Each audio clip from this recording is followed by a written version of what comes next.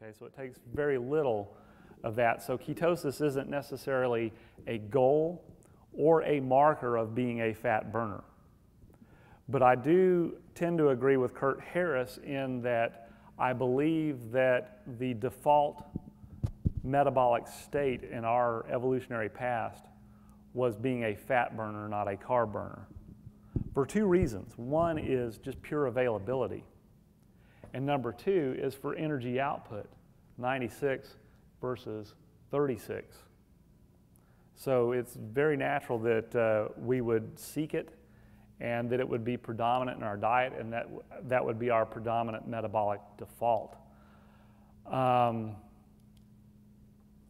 you know, if we took everyone in this room and we got in a bus and they dumped us out in the wilderness and said, hunt and gather for a week, and then we come back and we did a macronutrient assessment of everything that we brought back, you would find that very little of the caloric content that we were able to get for ourselves would be carbohydrate, unless we just happened to hit that one two week block at the end of summer, beginning of fall, when apple trees were in fruit or blueberries were blooming or something like that.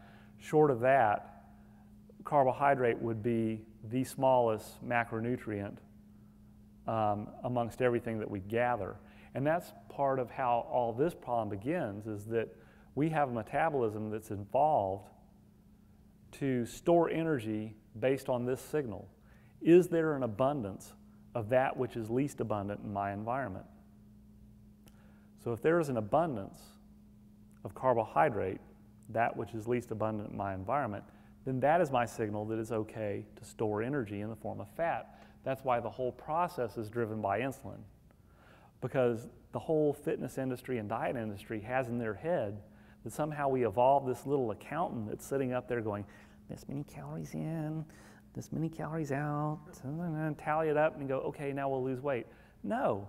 If it was that complicated, we never would have survived as a species. Not only that, if we burned as many calories as it says on the treadmill, we never would have survived a hunting and gathering trip at that rate, you wouldn't survive a trip to the grocery store. It's all predicated on signaling and insulin and signaling. So to answer your question, um, I think we're predominantly, the default position is to be a fat burner, but being in ketosis is not necessarily a marker for that depending on what you're eating. But being in ketosis is not a bad thing. People freak out when they hear ketosis because they think of diabetic ketoacidosis. And what happens there is when you're diabetic, you don't make any insulin, so you're just stacking up a ton of glucose out here that you can't get into the cell. So it's like people in the apartment are calling for pizza over and over and over again. Lots of pizza delivery dudes are coming to the door, but no one can answer the door. So the default then becomes to mobilize body fat, but you have no glucose entering the cell at all no gluconeogenic amino acids to buffet the production of the byproduct of ketone. You have to so aggressively tap this that you actually develop a ketoacidosis, which is a disease state, which is why people freak out when they are in ketosis or hear ketone. Um, so there's that part of the question. The other was, oh, the carb crave. Yeah, okay. So the problem with uh, the carb crave is that you have kind of beat a metabolic dog trail of this can't go this way, can't go this way, got to go this way. Okay? Well, part of beating this dog trail here is this high energy state produces a lot of an energy byproduct called NADPH. And that's not important to know, but it's a high energy phosphate bond material. And that drives metabolic processes that in themselves produce byproducts that interfere with two other hormones that you rely on to tell you when to stop eating ghrelin and leptin. Leptin is actually produced by your body fat that tells your brain, look, we got enough body fat, it's time to stop. And ghrelin is activated largely by fat through a hormone called cholecystokinin, and it gives you the sensation of fullness in your stomach. Well, the byproducts of doing this over and over again affect your ghrelin and leptin sensitivity so it doesn't work as well in the brain.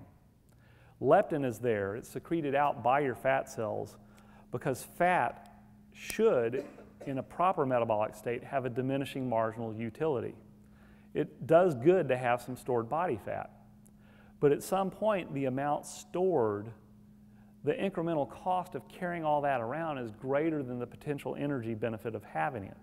It's like gypsies. You can only put so much crap in the wagon when the cost of pulling the wagon exceeds the benefit of what's in the wagon. And that's what leptin's trying to do. But the byproducts of that metabolism don't allow leptin to cross the blood brain barrier. It binds to it, prevents it to cross the blood brain barrier where it can actually send the message. So you probably have some persistence of that in your own metabolism because you got to remember this is like having a dog in your backyard. Once you beat the dog trails, they don't just fade away automatically. Okay. Um, working? Okay, great. So my uh, girlfriend is uh, you know, a cardio bunny. Uh, she runs a lot, and yeah. Uh, I've read the book, and you know, and I really think you've done a great job articulating some of the things that I haven't been able to get Good, across thanks. properly. I'm glad. Um, but the, there's just one other thing. We always talk about um, muscular adaptation versus the uh, cardiovascular adaptation. And uh, I've always tried to explain like why muscular is more important and works more, but I've never been able to get that across because she's always talking about you need more oxygen uptake and VO2 max. And could you just explain the, the difference there and what's that's about? I will as best I can. You know what I just realized, Anthony, is I apologize. I have a nervous habit of clicking these pins in all my own videos. I'm just always pissed off because I'm standing there clicking the pen right over the microphone. So I'm going to put this down so I stop doing that at the very end of this whole talk. So hopefully you're able to edit some of that out. But um, to answer your question, um,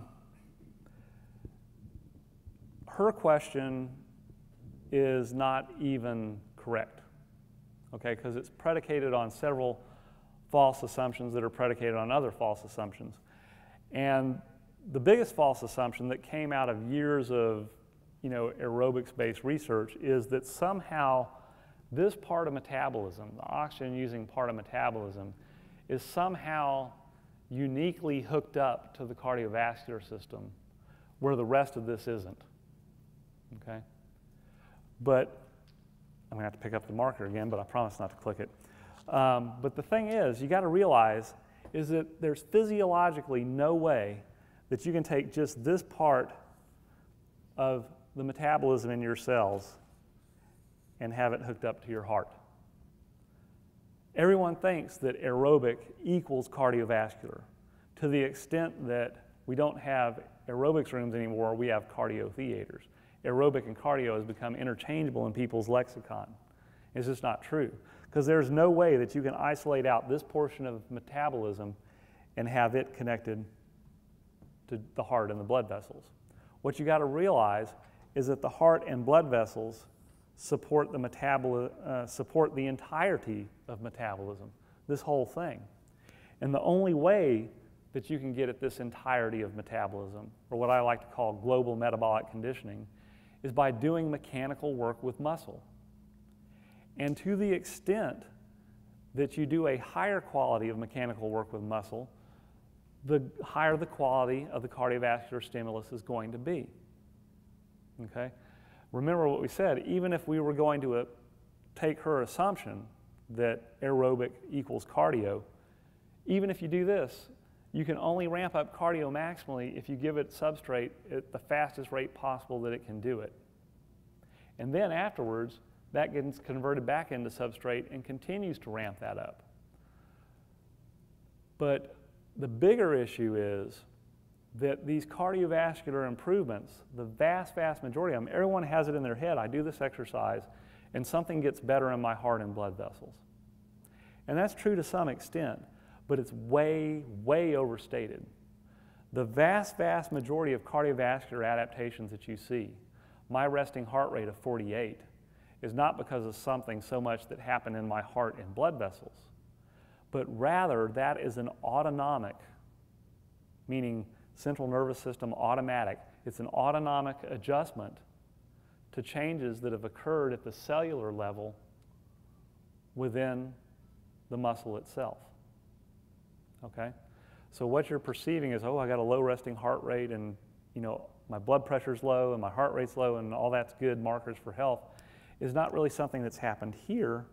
It's the fact that all these enzymes that make all this happen and these linchpin enzymes that keep the whole process going and lactate dehydrogenase and uh, pyruvate dehydrogenase, all those enzymes can upregulate and become more powerful and more efficient. And when that happens, when that's more powerful and more efficient, this has to work less hard. And that's borne out through the parameters that we measure, but it's not because of something that specifically happened there. All right, last question, that it?